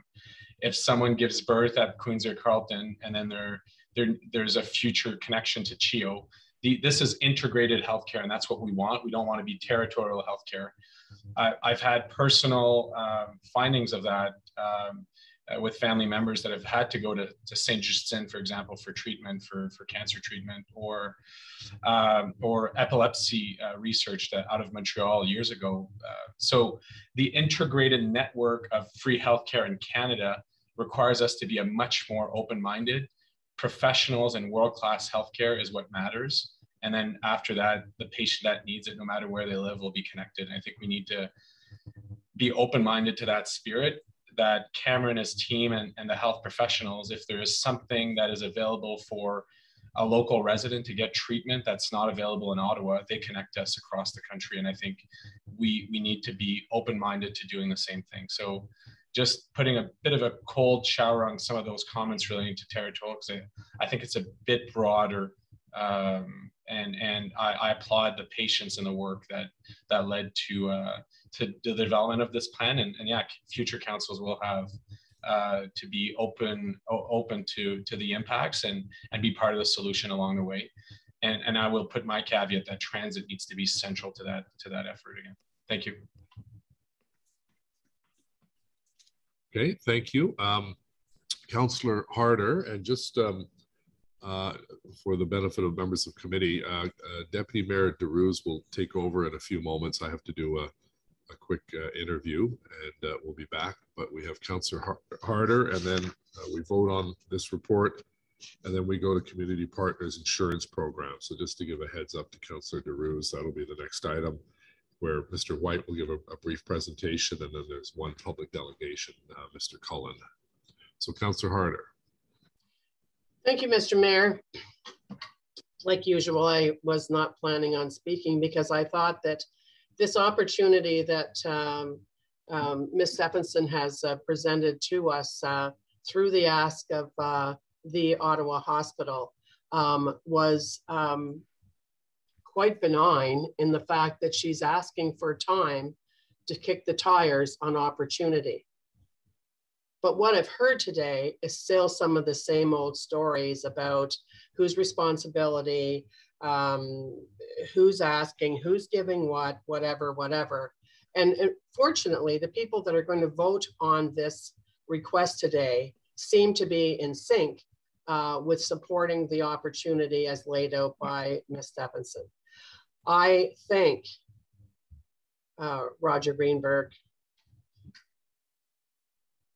developer that you are, Mr. Greenberg, I thank you. Because in this city, it's not like Toronto where they have um, a plethora of, uh, of industry that step up to the plate. We, that's it, that is not who we are. I would say that in this city, the people that contribute the most, whether it's to the Heart Institute, whether it's to the Arts Court, whether it is to universities and hospitals, the Minto Rec, the Richcraft Center, the Richcraft Sensplex, et cetera, et cetera, are the very people that are often um, accused of some kind of atrocities in this city by very people that are on this screen right now. And I was not surprised to see the um, contribution uh, that you led uh, from um, uh, Minto, uh, your family company, of $25 million for this most important project that we have had. Um, we are fortunate to be given the opportunity by the province to have this state of the art facility. You know what? I, I heard Roger saying that uh, he was uh, born at the hospital. His parents were born in the hospital. Shawn Menard has said, I think he said your mom was born at the hospital. Um, certainly I was born at the hospital. We can all have our stories of parts of the Ottawa hospital. But we can't, what we can't do is do without it. And what we can't do is deny that we must move forward with the opportunity and not hesitate. When I get emails from people still talking about don't pick the land site and all this kind of nonsense, move on. We have moved on. When I was first elected back in 1997, I think it was in 1998, I, uh, the Queensway Carleton Hospital asked us to contribute um, a million dollars to a campaign they were they were running. So Nepean Council. And I was the swing vote. And I remember calling Ben Franklin that afternoon and saying, you know what, Ben, like I, I'm always trying to be fiscally responsible. I'm always trying to follow like whose responsibility it is. I just don't know what to do. And he said to me, Jan, you can never go wrong with supporting our Queensway Carleton Hospital. And to that end, I did. And I was the swing vote. And I can say that people in the councillors that have been elected in the west end of Ottawa understand that in spades. And we have become ACE ambassadors. We have become ambassadors for our local hospital. This hospital is about so much more than just Ottawa. It is about such a greater area. It brings so much opportunity. Somebody was talking about the number of jobs.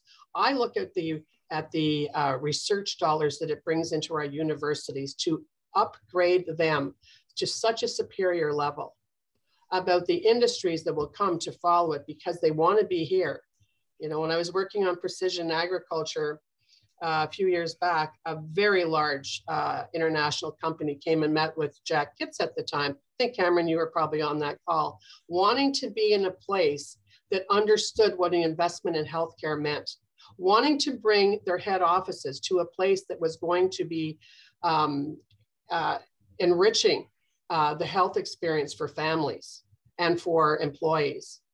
You know, through um, a little a little golf tournament that I had for many years, um, we raised almost a million dollars for the Queensway Carleton Hospital, and I will never, ever be sorry for that and I certainly at council will be supporting this opportunity that Ms. Stephanson has asked us to give her the time to see what we can do to step up to the plate to make sure that that first hospital that gets the money is the Ottawa Hospital.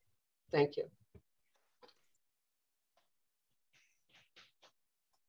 Thank you very much, Councillor Harder. Uh, I see uh, anyone on the committee like to comment before we move to the vote. I don't see any hands up. I, I personally want to thank uh, Wendy and her team for the great presentation. I also want to thank uh, Dr. Cameron Love for being here this morning. And of course, Mr. Greenberg and your family has been always part of uh, building the city. It's not the first time that you be part of any uh, community building uh, project in our city. So from that, we're all thankful from the city of Ottawa. We appreciate uh, the generosity of your family. Uh, we move uh, to our, we have a recommendation that the Finance and Economy Development Committee recommended council one, receive the information on the local share, including the request municipal portion as outlined in this report. To approve the financial framework and guiding principle for developing a response to the Ottawa Hospital's request as outlined in this report. And three, direct staff to review and report back in the next term of council with options for municipal portion of local share contribution and for direct staff to bring forward a background study and amending bylaw to impose special area development charges to fund the future increase in, in need for service required for the new Ottawa's Hospital Civic Campus and to repeal the current discretionary exemption listed in clause seven for existing in the existing development charges bylaw 2019-156. Uh, all in favor? Carried. Carried. Carried. Okay. Thank you, and I appreciate uh, the delegation, and thank you, uh, staff, for great presentation.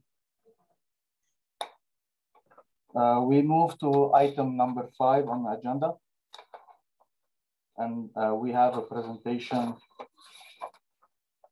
Uh, we do have presentation uh, uh, from Dave White, and it is Community Partner Insurance Program. Thank you, Chair. Just, I'll- Yeah, go ahead, Dave. Thank you. my apologies. Um, just by way of background and just to, to, to kind of set out the, the, the basis on why, why staff are here and why staff are recommending what they are. Um, just so uh, members are aware, the Community Partners Insurance Program is, has existed prior to amalgamation. Um, and that's because you know the former municipalities um, saw value in providing access to group insurance for those um, community groups, community partners um, that were providing kind of community programming uh, in partnership with the former municipalities. And so at amalgamation, that kind of program was continued. Um, and again, recognizing that those community groups operate essentially as an extension of the city in providing that kind of programming that they're and um, providing access to that coverage provided protection for the association as well as for the city. At the time, um, and this is going back to 2001, staff had recommended that the city look to recover the cost of premiums from all of those community associations. Um, and that would have been started in 2003. Council of the day determined that for those community associations that were already receiving their, their insurance premiums from the municipality, um, essentially their insurance premiums were paid, that that should be continued. And so what we have had since 2001 is, has really been two groups in the Community Partners Insurance Program. Um, those whose insurance was funded by the municipality and those that had to provide uh, their own premiums. And that was irrespective of the fact that they may well have been providing the same types of community programming, um, all again in partnership with the city. And so during the, um, the consideration of the budget last year, members may recall um, some members of council, some of the community associations had raised concerns about the apparent inequity um, that was caused in that, uh, particularly in, in, a, in a, a toughening insurance market with rising premiums, that there were groups essentially providing the same levels of service and the same types of programming that um, were not receiving um, community or uh, sorry, municipality funded premiums. And so staff undertook to go away and to see how that might be resolved. And so what staff are recommending, and that's what you have before you today, is essentially to provide, to put all of those, those community groups on an even footing um, and to, to provide insurance, um, whether they were part of the original 2001 group or not, and to extend that coverage in that way. The other concern that, that staff had heard at the time, of course, was with respect to the, the growth in the, the amount of the deductible. And that had been, and that varies depending on, on the period. It had been $2,500, and that's the amount that any association is required to pay in the event that there is a claim. Uh, so that had gone from 2,500, it had dropped to 500, um, but it had risen again more recently to 2,500. Staff have addressed that through having secured more favorable terms in the latest renewal for the Community Partners Program. And so there is now no deductible um, for any of those community associations.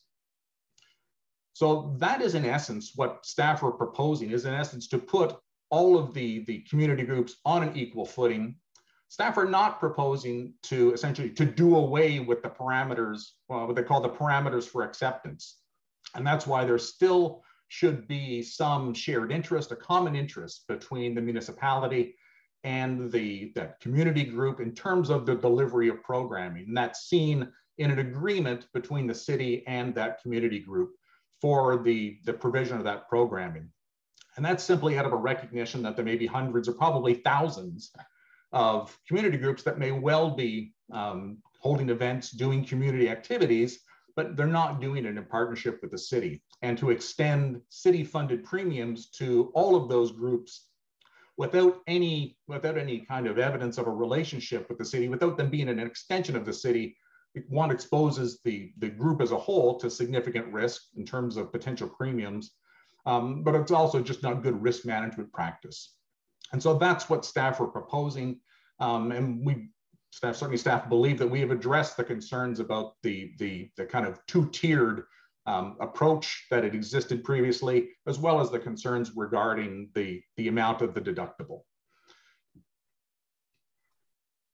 Uh, thank you very much, Mr. White, for uh, the context and for the present uh, verbal presentation. We do have uh, one delegation. It's Mr. Alex Cullen, and he's not strange to our uh, council. And uh, Mr. Cullen, are you there? Yes, thank you, Mr. I Chairman. See, I see you, and you have five minutes. Thank you very much for coming, and you go ahead. Thank you, Mr. Chairman. My name is Alex Cullen. I'm the president of the Federation of Citizens Associations. I'd like to thank Mr. White uh, for his presentation. Uh, uh, some members of this committee will remember that uh, the FCA showed up at the budget meeting of Community and Protective Services Committee and the uh, to raise the issue about uh, the uh, partnership insurance program, the fact that it was capped, the fact there was about 30 odd community associations, particularly in the growth areas that were outside of the program having to pay full freight for their insurance. And I would like to thank Councillor Luloff for his leadership in uh, recommending that staff conduct this review. This review came about because we showed up, the community association were contacting their counselors, and the committee was very, uh, had heard the message, and staff agreed to conduct that review. Uh, the assumption was that we would be consulted in that review, and that review would be completed by June. Unfortunately, just uh, uh, less than a little more than 10 days ago, we became aware of the report. Uh, and what we're here today is simply to ask for time to digest the report, uh, talk to staff about the unresolved issues. Mr. White has laid out um, how the uh, groups that do have a contractual relationship come into the system, that's fine. Uh, what's happening to deductible, that's fine, but that's not the whole story. As you know, many community groups use city facilities for other events, uh, and we would want to talk to staff about, okay, what can be done to enable these community groups to continue to do those things. So all we're asking for is time, time for us to consult. Our community associations meet monthly, getting the report just a matter of uh, less than two weeks ago um, doesn't cut it. And we're just asking for a one month uh, um, deferral to your next, to your June meeting so that we can talk with our members, talk with staff, and come back with an informed response to what staff are proposing. I think we're on the right road, but we do believe that public consultation in this matter uh, is important, and our community groups are asking us uh, for that opportunity. Thank you, Mr. Chairman. Uh, thank you, Mr. Cullen. And I have a question for Mr. Cullen. I, Mr. Uh, Councilor Leiper. Oh, sorry. Sorry, it was a question for staff. Thank okay, you. okay. We'll move to staff right after the delegation. Any question to the delegation? Uh, thank you, Mr. Cullen, and we appreciate your uh, delegation this morning. And we'll move uh, for question to staff from Councilor. Uh, I have Sh Councilor Chantiry and Councilor Leiper. So, Councilor Chantiry, go ahead. Thank you. Uh, thank you, Mr. Chair. My question to Mr. White, if uh, if I understand correctly, so we some of the community, so and I'm, I'm speaking for the rural area, obviously, because uh, it, uh, those community associations, they're not staffed by uh, city staff. They are uh, obviously, the city support them and, and, and help them. But, and so what's going to change for them today? So they still cover uh, the, the member on the board or the director on the board and the activities, but what's the changes, if I understand it correctly from the report, is going to be for a new user. So if uh, if uh, someone wants to use the hall for a, for an event, uh, they have to have extra insurance. Is that what's going to change on us? Mr. Chair, staff are aren't proposing changes with respect to insurance for what we would call like a one-off event. And so essentially a rental agreement. Um, there is insurance available through the city. Um, depending on the nature of the event, that will will determine the cost. It is normally of a nominal of a nominal cost with respect to a, a rental of a city facility to a, a, community group or whoever it might be um, to rent that. So staff aren't proposing any change in that. Um, that would remain, and again, that's that's available um, at a at a very nominal cost. What you'll what you'll see is if there were groups that were providing um, community programming. So you know there are there are any number of groups that do so. If they were if they were required to fund their own premiums as a result of that that 20 year old decision, um, if if they are providing that same kind of programming as others who are having their insurance premiums funded, then they will be eligible to have those premiums paid by the city going forward. Staff are, are proposing essentially a transition year um, for the next period, appreciating that there may take some time to ensure that uh, you know the agreements that that those groups have are are in place and that they're updated as necessary. So is it fair to say when when we talk about the insurance is going to be uh, uh, on on a on a rental? Like it's, it's not going to be a standard right Cross. it's, it's going to be depend uh, on the group and the user. The reason i'm asking you this because been asked from uh, our community. Every time they want to rent the hall they have to reach someone in the city and it's not always someone dedicated to the Rural Community Association because Rural Community Association is different than other community run by the city. Those are run by volunteers. So I don't want to create additional burden on a volunteer who run our community programs. Uh, you know, is, is it going to be a standard?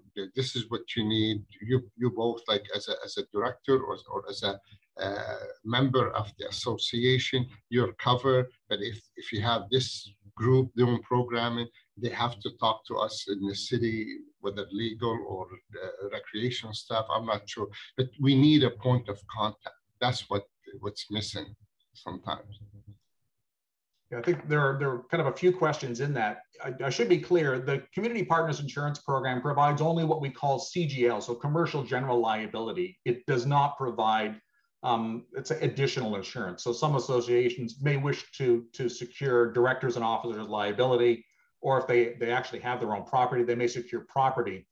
Um, and while we provide um, kind of an avenue to, to secure that, um, that's never been part of, of the Community Partners Insurance Program. In terms of, of facility rentals, again, you know, that would normally be handled at the time of that rental. Um, and so it wouldn't you wouldn't necessarily have uh, an annual premium that would cover all of the all of the rentals of that facility. Uh, but that would be dealt with in, in concert between um, presumably the, the, the you know, facility group and uh, legal services if need be. Okay, thank you. Uh, thank you, Mr. White. Thank you, Mr. Chair. Uh, I think Mr. Uh, Mayor Watson's back. If not, uh, next speaker is Councillor Gower. Okay, um, thank you. Um, Mr. White, um, can you define a little bit more this formal written service agreement associated with the associated with the delivery of recreational, cultural, or community services? Community associations provide a wide, wide range of activities through partnerships with the city. There's some like Dovercourt that have quite a integrated and advanced um, operation. There's others that might have some very small programs that don't even run year round. So can you give a little more context as to what would or would not qualify? Um, Chair, the, the principle behind the, the CPIP, and this goes back to when it was established 20 some odd years ago, um, is that it, it's, it's, it's not intended for one-off events but it is meant for ongoing programming. So it doesn't need to be year-round programming. A number of associations wouldn't necessarily be providing um, year-round programs simply because it's it may well be seasonal or something like that. So those kinds of things um, are covered. uh, generally speaking. Again, there may be activities that some groups take on that, uh, depending on, for example, the risk profile, that it may be that an insurer isn't prepared to insure those. Um, none come immediately to mind, but um, it's always possible. Um, so the, the, the range of, of kind of cultural and recreational program, as you say, is quite broad. Um, and that's, again, that's why staff are proposing this, this period to ensure that those, uh, the agreements that we have, that the city um, in kind of engages those community groups as an extension of city programming, that those are in place, that they're up to date, and that um, you know we have some ability in essence to to ensure that they're following, for example, good risk management practices. Okay, I I have well the Stittsville Village Association has raised some concerns which you're aware of, and I, I want to follow up with some some specific ones offline and not take the committee's time. But they had a couple of specific issues that I wanted to raise because I'm pretty sure they would apply to other grandfathered community associations who have been relying on the insurance available from the uh, from the community partner program. Um, they gave two examples. One is their Canada Day fireworks. That previously their insurance was covered through this program, and they're very concerned about um, about not being able or not being able to afford insurance without the partnership program through the city. And the other is around the annual parade, an important civic event it's not officially a civic uh, city program, but uh, they're concerned that that would no longer be insurable because of the uh, high costs of their organization. Are there any alternate city programs available or that could be explored that would help provide organizations that do put on civic events, but that wouldn't qualify through these current recommendations uh, to provide an alternative to them? Chair, those are certainly um, things that, that staff, we, we look at all the time and we, we would do that in, in concert with the, our, our, our colleagues in the various uh, operating departments. But certainly the, the city has access through its broker to insurance for those types of events that it can, it, it can provide either access to or dependent on the nature of the funding model, um, it may be able to fund those. But generally speaking, the again, the individual one-off events aren't would or wouldn't be something that would be covered by the community partners insurance program, but it might still be um, available under the, the, the kind of the package of the city's overall integrated program, or at least access to it. Okay, uh, thank you. And uh, last question is around uh, what kind of benchmarking or comparisons have you done with other Ontario municipalities? And is this in line with what, uh, what we would see in other um, Mayor, staff are actually aren't aware of any municipality that provides funding for the premiums. Um, if I go back, if I actually go back to 2001, the recommendation was that the municipality recover those premiums from um, the community associations. And so we, we're in a bit of a uh, I don't know if we're, we're unique in that regard, but ordinarily, while these kinds of group policies are made available, um, through the municipality simply because they're they're able to secure more favorable rates. The the idea of the municipality providing the the funding for the premiums would it, it may be they may do it on a on a one off through um, community funding grants or something like that, but it wouldn't normally form part of the insurance program itself. Okay, thank you.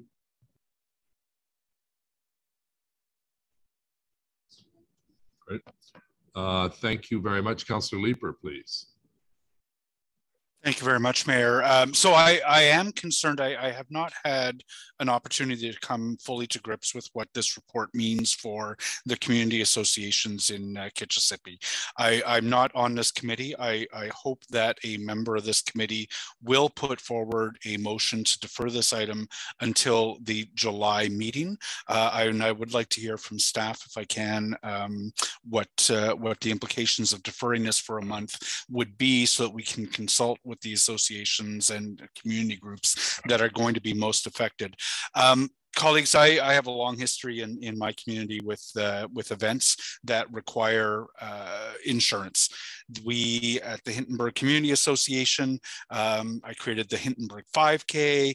We held the Arts Park Festival, Kris Kringle, a big craft fair. We did the street hockey tournament every year and um, uh, the world famous uh, movie night for dogs. And all of those events uh, close streets, they book city facilities, uh, they book um, uh, our parks, and they all require uh, that $2 million of general liability insurance in order for the city to provide the special events permits for those to move ahead. And my question for staff is, um, in this reworking of the insurance program, the HCA has uh, typically taken advantage of the preferential rates that are available through the city to insure itself.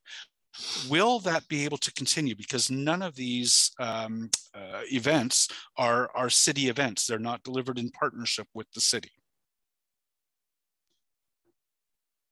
Chair, I'll, I'll answer the, the last question first.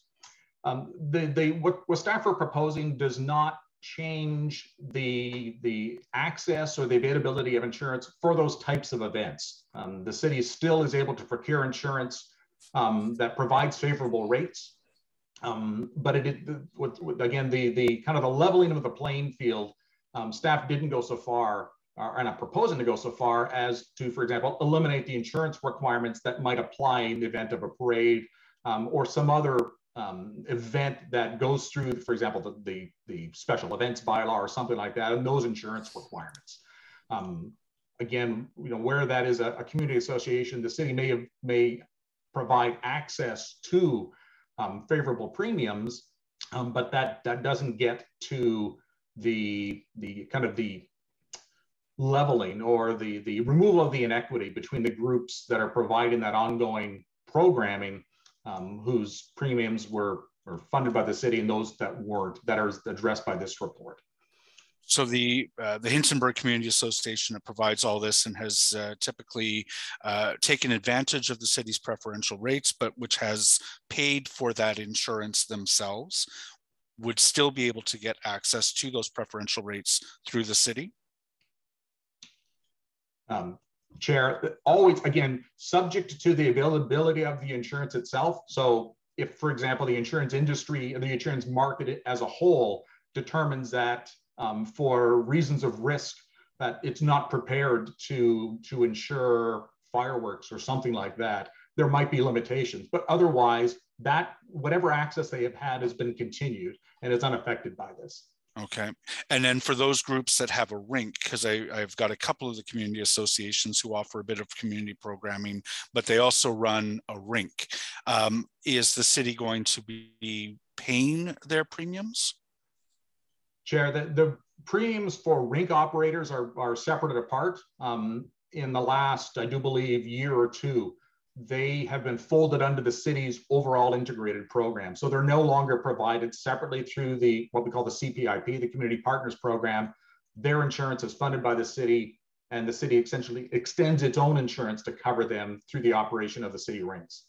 So if they have the winter festival or a, a, a community gardening day, et cetera, is that event covered under the insurance that they have through the rink program? Normally the, the, the rink operation program would cover their again that that covers the operation of their rink if it were a one-off event or something like that then that would presumably be a separate that may require separate insurance for that again dependent on the nature of the event the number of attendees, the nature of the activities that are planned, and things like that, all of which can affect what the, the, the individual premium might be. Um, though, as I say, it tends to be a nominal amount. Okay, I, am concerned that uh, the community groups that are providing a lot of programming that is not being delivered as part of a, of a city mandate um, uh, don't have a good grip on the implications of this report for them. Um, I still don't feel as though I know what the implications would be for the community programming that's offered by a variety of groups in uh, in my ward. Um, I would I would ask um, a member of this committee to put forward a motion to defer this until um, uh, the next FEDCO meeting. Okay. I'll leave it there, Mayor. Thank you. Thank you, Councillor. Uh, Councillor Luloff. Thank you very much. Um, Mr. White, if this was to, to rise to council uh, on the first, um, the, the first council meeting of June, does that still give you enough time to, to execute the renewal? Or does it, is this something that has to be, that has to be dealt with today and then rise to the next council? Chair, obviously, you know, staff are in, are in the committee's hands in that regard. Um, the renewal takes place in June. Um, in the event that the, the matter is deferred, there may be, um, there will be an administrative burden um, in that municipal or uh, community associations, community groups that um, might otherwise become eligible in the event that the staff recommendation is approved, might need to secure their own insurance for that period. Um, whether they need to, whether they can do that uh, on the basis of a, like a monthly premium or something like that and refund um, or and have it canceled.